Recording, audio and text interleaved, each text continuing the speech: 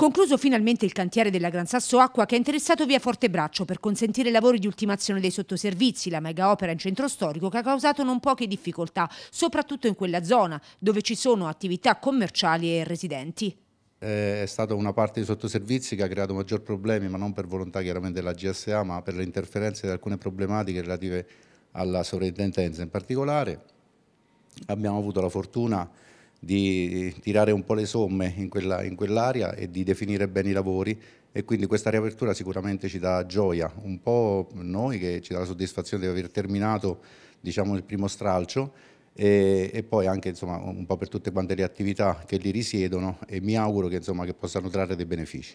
La buona notizia però è che a breve partiranno anche i lavori del secondo stralcio in tre lotti e in due anni dovrebbe concludersi la realizzazione di questa opera. Innanzitutto va detto che l'interlocuzione col Comune è veramente stata fattiva, collaborativa e questo va dato merito sia ai tecnici del, del Comune e ai tecnici della nostra Gran Sasso che sono stati sempre disponibili alla risoluzione dei problemi.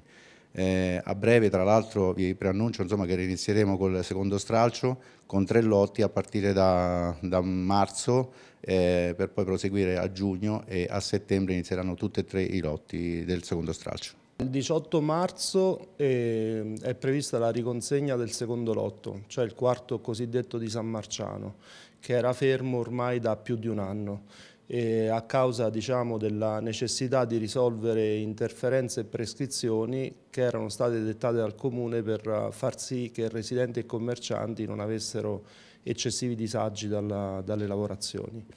Quindi è stata redatta una perizia di variante in diminuzione, la galleria sarà adottata soltanto nelle strade più larghe e così insomma potremo riniziare e portarle a conclusione nel giro di due anni.